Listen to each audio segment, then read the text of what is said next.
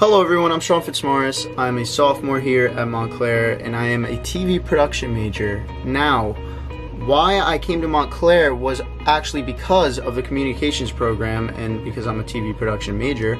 Uh, they have a great, great program here and it really reeled me in.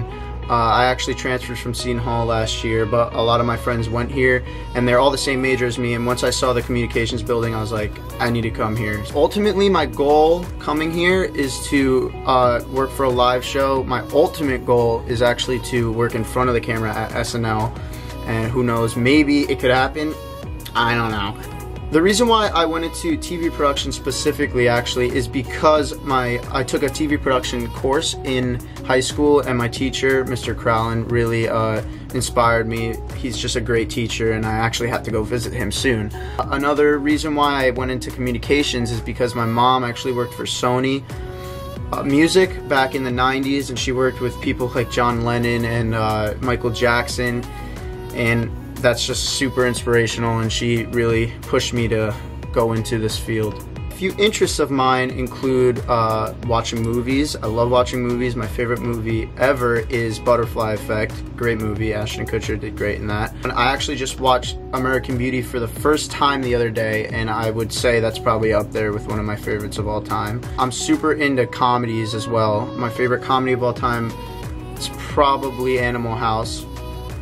That's just a classic. A little fun fact about me, I actually have a three-legged dog named Petey. He's a Pomeranian Poodle mix. Um, I may insert a picture into this video, but if I don't, you could just ask me to see a photo if you really want. Um, yeah, but he's a, he's 11 now. He's getting old. He's a great dog though. As I mentioned before, I'm super into comedy and uh, my friends here at Montclair and I actually have a YouTube channel called The Undergrads and we make little comedy sketch videos and we actually have a mock reality show coming out soon uh, called The Roommates of Russ. Yeah, it's, it's gonna be really, really funny. If you guys wanna follow the Instagram, it's just at undergrads. No, uh, no underscores or dashes or anything, it's just at undergrads.